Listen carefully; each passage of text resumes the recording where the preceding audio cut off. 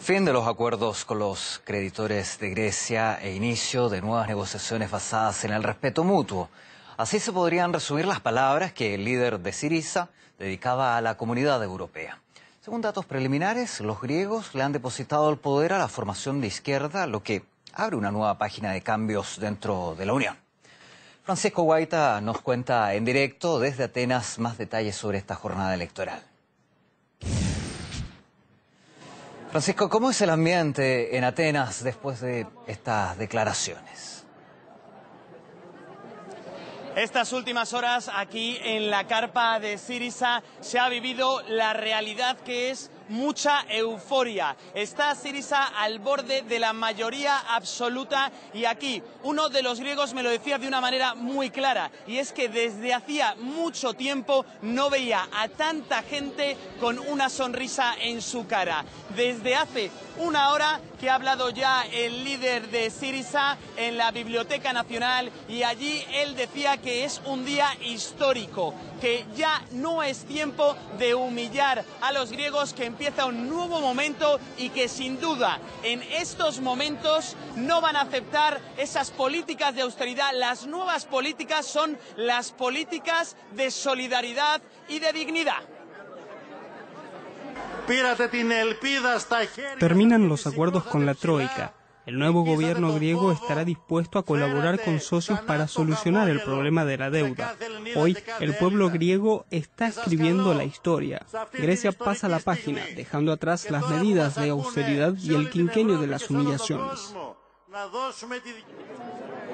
Es la primera fuerza del país, Siriza. Recordemos que hace tan solo tres días los sondeos estaban dando en torno a un 31-32%. Ahora se está hablando de un porcentaje mayor, está al borde de la mayoría absoluta y está sacando casi el doble de escaños que tiene el partido Nueva Democracia, el partido actual de gobierno, que da dos, hechos, da dos datos importantes. Antoni Samaras dice que espera que Grecia no salga de la zona euro y también felicita al líder de Siriza, Alexis Tsipras.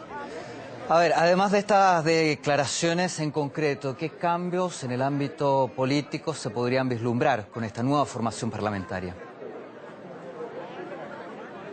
Recordemos que durante estos días el plan claro durante los próximos meses es afrontar la crisis que califican humanitaria que vive el país. Un tercio de la población no tiene acceso a la salud pública. Ese mismo tercio de la población tampoco eh, está, vive bajo el umbral de la pobreza y en estos momentos el país tiene un importante eh, reto con respecto a la sociedad eh, que, griega. En ese sentido han sido muy claros los griegos y han rechazado las políticas de austeridad. También el responsable internacional de Siriza dice que este momento es un punto de inflexión para el mapa político europeo. Los pueblos de Europa estaban esperando esta victoria, porque esta es una victoria para el pueblo de España, para los pueblos de Portugal, de Irlanda, de Italia, de toda la Europa de la periferia. Y es muy importante poder crear movimientos, eh, gobiernos y nuevas correlaciones de fuerza que son antineoliberales y proeuropeas.